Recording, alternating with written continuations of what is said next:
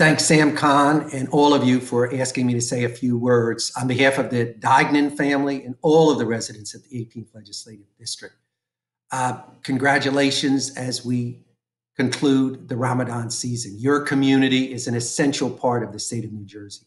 And that spirit of Ramadan, of sacrifice, of unity, of community, is what we need now more than ever.